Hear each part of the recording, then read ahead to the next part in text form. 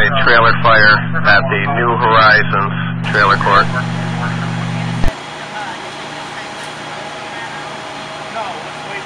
No,